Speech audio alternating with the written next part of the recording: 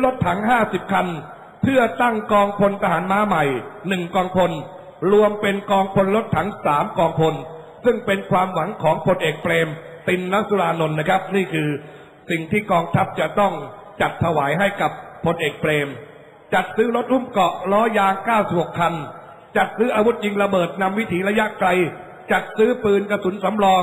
และอุปกรณ์สนับสนุนการลบตามความจำเป็น ส่วนกองทัพอากาศซึ่งเพิ่งซื้อเครื่องบินขับไล่กริปเพนจากสวีเดนหนึ่งฝูงหกลำ รัฐบาลได้อนุมัติจัดซื้อฝูงบินขับไล่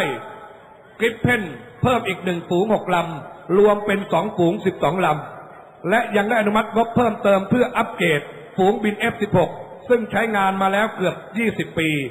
ส่วนกองทัพเรือไม่ต้องการอะไรมาก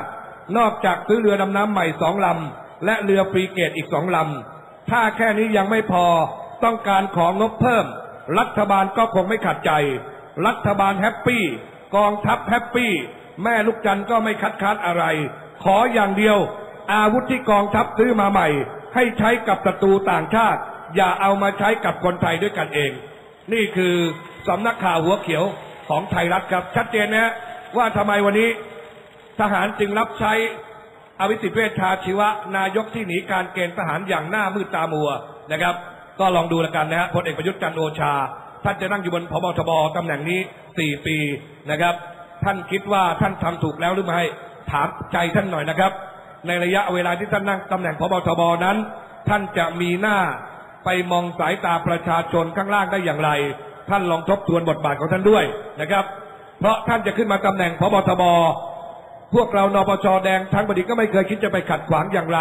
ก็ให้เป็นไปตามกระบวนการของทาง กระทรวงกลาโหม เราไม่ไปขัดข้อง เพราะฉะนั้นท่านเดินขึ้นตำแหน่งนี้ด้วยความสง่างามดีกว่า ที่จะมาเดินขึ้นตำแหน่งพบทบบนซากศพของประชาชนนับร้อยศพนะครับ ทีนี้ผมจะหันมาดูเรื่องของสื่อพี่น้องครับ สื่อด้วยกันเองเขามองสื่ออย่างไรนะครับ สื่อเขาระบายความในใจอย่างไร วันนี้หมัดเหล็กเขาเขียนเอาไว้ในคอลัมน์คาบลูกคาบดอกครับ สื่อในประเทศไทยเขามีจรรยาบรรณมีวิชาชีพ เขาบอกว่าสื่อยุคประชาธิปไตยอ่อนแอ มีผู้สื่อข่าวภาคสนามหลายคน มาเล่าเหตุการณ์ที่ประสบมาด้วยตัวเอง ในบริเวณพื้นที่จุดประทะให้ฟังในอาการที่งุนงงสงสัย และสิ้นหวังกับการแก้ไขปัญหาวิกฤตการเมืองของประเทศไทย สถานการณ์ไม่ต่างอะไรจากเหตุการณ์พฤษภาธมินเมื่อปี 35 เกือบ 20 ปี ไม่มีอะไรเปลี่ยนแปลง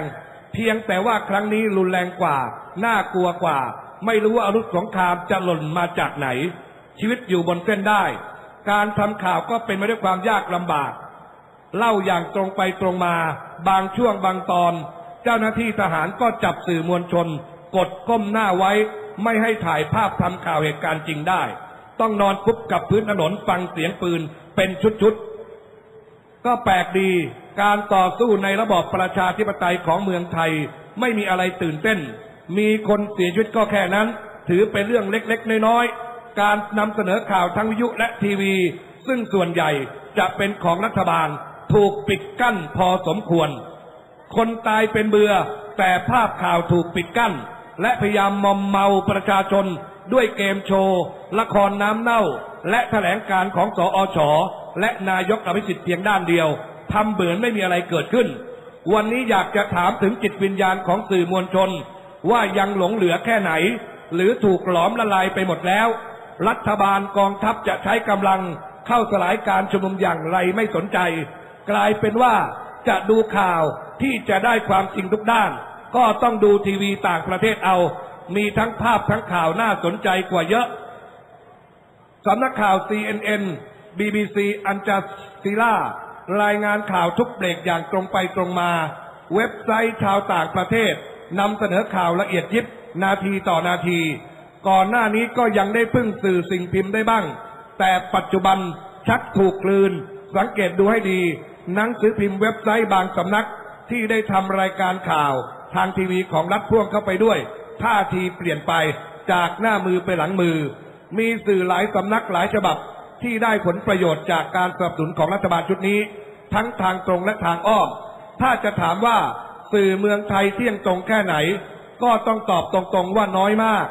จะรักจะชอบจะแสดงความคิดเห็นเข้าข้างฝ่ายหนึ่งฝ่ายใด เป็นเรื่องปกติตามที่จะได้รับข้อมูลข่าวสาร ในการที่จะนำมาวิเคราะห์วิจารณ์ที่แตกต่างกัน แต่ต้องไม่มีเจตนาอื่นแอบแฝง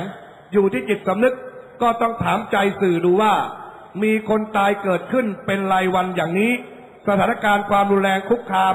ความปลอดภัยของประชาชนอย่างนี้ ถึงเวลาที่จะเปิดเผยข้อเท็จจริงที่เกิดขึ้นให้กับชาวโลกได้รับรู้หรือยัง นาทีชีวิต ทหารต้องมายิงปืนใส่พ่อที่เป็นเสื้อแดง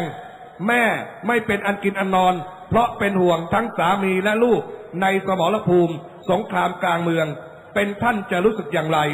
ลองช่างใจดู ควรจะควรจะทำหน้าที่สื่อมวลชนอย่างไร จึงจะเป็นสื่อของประชาชนปรบมือให้กับหมัดเหล็กด้วยครับ ชัดเจนนะครับพี่น้องครับ นี่คือมุมมองของสื่อ วันนี้ผมหยิบไทยรัฐมาอ่านนี่ผมถือว่า วันนี้ไทยรัฐได้ทำหน้าที่ของสื่อสารมวลชน ที่ยืนอยู่เคียงข้างประชาชนได้อย่างครบถ้วนสมบูรณ์นะครับ เพราะท่านได้พูดความจริงตรงไปตรงมา ในนังสือพิมพ์ไทยรัฐต้องขอชื่นชมนะครับ สมควรแล้วที่ท่านเป็นนังสือพิมพ์ที่มียอดขายอันดับหนึ่งของประเทศ ที่ท่านได้กล้าที่จะนำเสนอข้อเท็จจริง ต่างจากทีวีหอยม่วง ต่างจากการแถลงการของสอชอย่างสิ้นเชิง นั่นคือการยัดเยียดการบดบังข้อมูลข่าวสาร เอาความตอแหลมาแถลงการให้กับประชาชนทั้งแผ่นดินได้ รับรู้รับทราบกัน วันนี้ใครอ่านไทยรัฐทุกคอลัมน์ท่านจะเห็นว่านังสือพิมพ์ไทยรัฐนั้นยืนอยู่เคียงข้าง ประชาชนผู้มีอุดมการณ์ ผู้เสียสละที่มาเรียกร้องประชาธิปไตยครับพี่น้องครับ เพราะฉะนั้นนี่คือสิ่งที่ผมได้มีโอกาสมา สนทนากับพี่น้องตรงนี้ เพราะถือว่าอยากจะให้กำลังใจกับสื่อที่ยังมีหัวจิตหัวใจ มีจรรยาบรรณมีความรับผิดชอบ ต่อพี่น้องประชาชน พวกเราคนมือเปล่าครับ วันนี้พี่น้องเราที่อยู่ข้างนอก มันเข้ามาไม่ได้ ที่อยู่ข้างนอกนั้นก็ดูแลตัวเองกัน เพราะมีญาติพี่น้องผู้เสียชีวิตกำลังโกรธแค้นก็มารวมกัน และเมื่อพี่น้องมารวมกันเป็นกลุ่มใหญ่ เราก็ไม่รู้ว่า ฝ่ายรัฐบาลที่มีกองกำลังใต้ดินอยู่เยอะแยะ หลายกลุ่มจะส่งเข้ามาแทรกแซงในกลุ่มของเราหรือไม่ เราก็ไม่รู้ เพราะไม่มีแกนนำไปบัญชาการไปดูแล เพราะแกนนำออกจากพื้นที่ก็ถูกสไนเปอร์ส่องแน่นอน นี่แหละครับ บ้านป่าเมืองเถื่อนชัดเจนเลย มันไม่เล่นกฎหมายกันนะครับ มันเล่นป่าเถื่อนกันมาก รัฐบาลมีกฎหมายอยู่ในมือไม่ดำเนินการตามกฎหมายนะครับ มันคิดจะจับตายพวกผมอย่างเดียวนะครับ ถามว่ากลัวไหมกลัวครับ เพราะผมกลัวผมจะทำงานไม่สำเร็จ ยังมีงานที่ผมจะต้องทำอีก เพราะฉะนั้นผมขอยืนยันและส่งสัญญาณไปยังรัฐบาลนะครับ ว่าวันนี้คุณยังมีเวลาที่จะตอบ คุณอยากจะให้ธุรกิจการค้าที่สี่แยกราชประสงค์เดินหน้าต่อไป พี่น้องประชาชนคนที่ทำงาน8 9หมื่นชีวิตที่อยู่ตรงเนี้ย เขาจะได้มีอาชีพมีมีโอกาสทำงานกันต่อไปเนี่ย คุณรีบประกาศยุบสภาทุกอย่างจบทันที เราเดินทางกลับบ้านนะครับ เรื่องอื่นเราว่ากันต่อ วันนี้ต้องการคำตอบคำเดียวว่า ยุบสภาแล้วเราก็จะหาทางกลับ เราจะเดินทางกลับบ้านด้วยความสง่างาม ด้วยความเรียบร้อยครับ นี่คือสิ่งที่เราประกาศชัดเจน